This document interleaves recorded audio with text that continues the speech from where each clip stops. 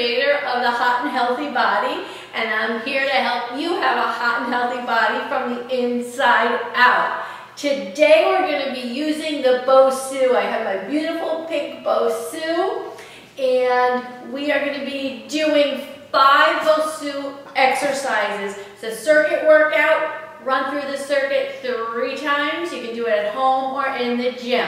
The first exercise we're going to be doing is a plank toe touch. So, this is going to be an advanced position, and down here is going to be a beginner position. What we're going to do is we're going to step out this to the side, 10 on one side, 10 on the other. This is for your core, everyone. Let's go. One, two, three, four, five, six, seven, eight, nine, and 10. This is challenging. It's harder than it looks.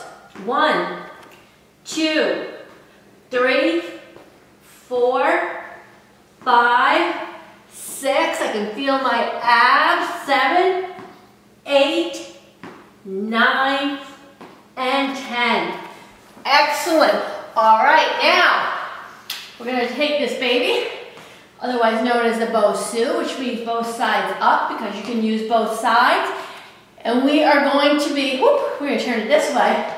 We're gonna be doing a squat with a half burpee. So I'll show you what it looks like. We're holding the Bosu in front of us. We're going down, wide legs, jumping back, jumping up to the sides of the Bosu, and coming back up. We're doing that for 10. Here we go. Down, back, side, up. Boom, up. That's two.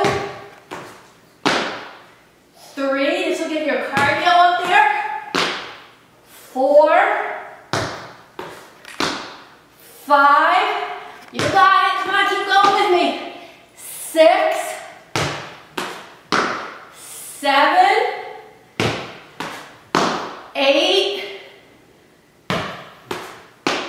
nine, last one here, 10. That's great, get your cardio up there, you're working your upper body, your lower body. Now we're gonna take the Bosu, go right here, and we're gonna do a little ab. I call them in and out. So we're gonna place our hands behind our booty, and we're gonna reach in, and reach out. This would be beginner, keeping your feet kind of down toward the ground, and advance would be picking your feet all the way up. So here we go. One, two, three, four, five. You're pulling in all your little stabilizing muscles. Seven, because you're having to balance. Eight, nine, and 10. You hear my dog in the background? Katie wants to get in the video. All right, everyone, that was great. Now we're gonna move on to the next exercise.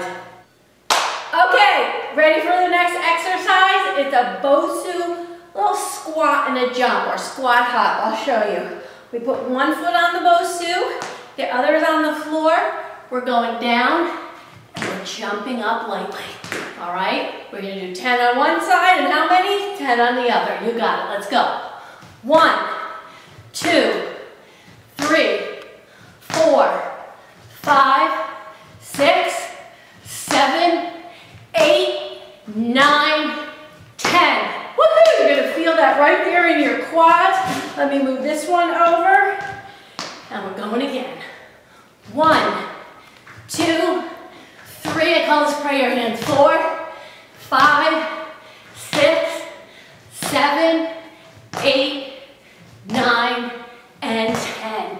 Beautiful. Okay, last exercise in this circuit, like my books like that. Toe taps, 30 seconds. We're just tapping back and forth for 30 seconds, getting that heart rate up. Here we go. Tap it, tap it. And that's what I love about circuit workouts. You can get them in, get them done really quick and efficiently. If you want, put weights in your hands and make it more challenging. Keep it going. 10, 9, 8, 7, 6, 5, 4, 3, 2, and 1. Woo! My heart rate's up there. All right, guys? Go back and do that circuit a couple more times. Subscribe to my YouTube channel here. Come visit me at lauralondonfitness.com. And I have a brand new book out called The Hot and Healthy Body. So if you want some more great workouts, and they put little tidbits in the book called London Gems about how your body works. It is the missing instruction manual to your body. So go check it out at hotandhealthybody.com. Oh my gosh, and I'll see you in the next video. Bye-bye.